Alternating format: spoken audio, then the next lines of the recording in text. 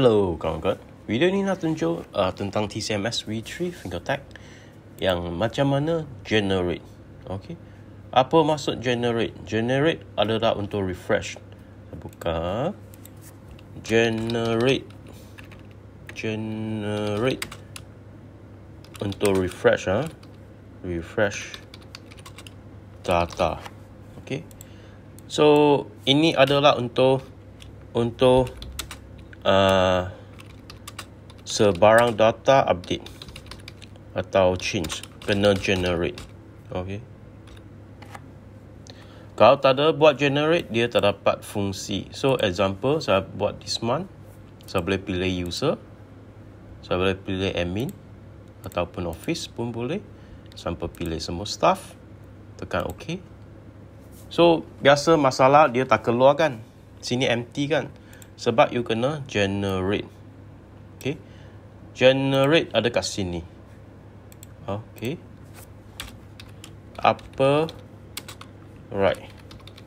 Ini ada kat scare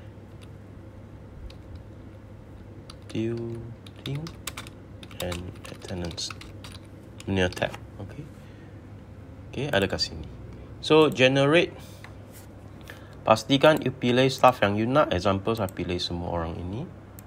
Okay. Dan satu test kan. Test ada kat mana? Okay, saya search dulu.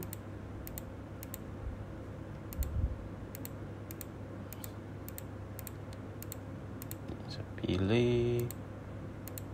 Okay, pilih inilah. Office example. So, kena pilih date range. Ha? Date range.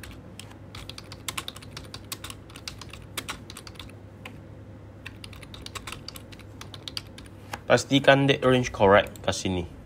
Date range ha. Kalau you tak ada date range, dia nanti tak up to date. Ini. Bila sampai bila you nak update. Example, you nak update satu hari bulan empat sampai uh, example lah, lima hari bulan lima. So, pilih staff yang ada. Lepas tu, tekan OK. So, dia akan generate. So dia akan jalan bergantung PC punya speed. Okay, dia akan keluar data.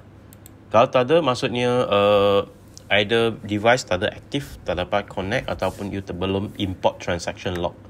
Ini import transaction log, you boleh tengok video yang sebelum ini kita ada post cara untuk import transaction log. So ini adalah generate.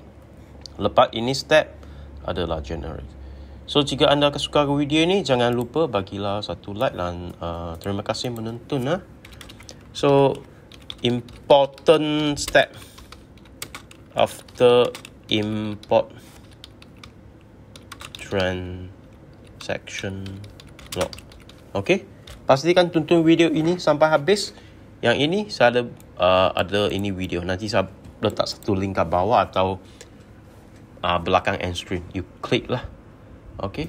After import import lah bukan important import transaction log so itu saja video untuk generate. Uh, so terima kasih menonton